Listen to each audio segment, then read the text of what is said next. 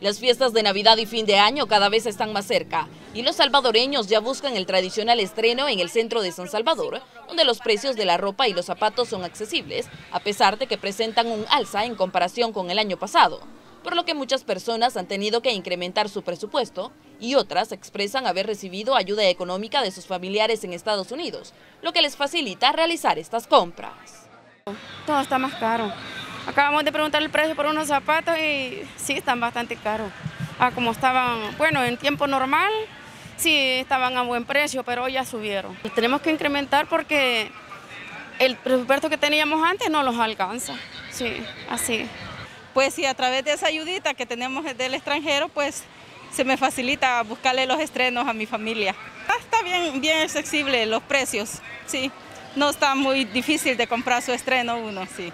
Está, está accesible. Yo creo que los estrenos andan por los 5, 10 dólares. Para una camisa, por ejemplo, 5 pesos, bien bonito. Y un pantalón unos 10 dólares, 8 dólares, hasta de 7 dólares también. Vale, venga, pregunte sin compromiso, pantalones que buscaba muñeca, venga, pregunte sin compromiso, caballero. Los comerciantes ubicados en la calle Arce tienen buenas expectativas para los próximos días. Ahí usted podrá encontrar pantalones, blusas, vestidos y más para niños y grandes. Mencionan que ahora que la delincuencia se ha reducido en la zona, han ampliado sus horarios de servicio de diferentes precios, ¿vale? Tenemos de este que le sale a 15 y hay otros que de estos que le salen a 12, o sea que de diferente la, depende de la calidad, va, así es el, precio. Tenemos ropa de eh, manga, camisa manga larga, sport, y tenemos pantalones yuca, rotos y tenemos ah, normales. ¿Cuáles son los precios que tienen?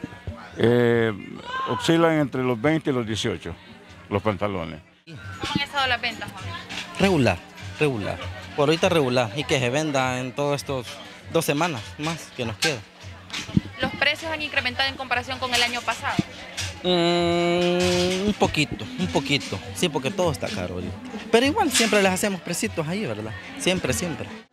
Los efectos de la crisis económica aún siguen presentes en el país, pero ellos esperan que sus ventas incrementen, pues muchos han recurrido a préstamos para comprar su mercancía.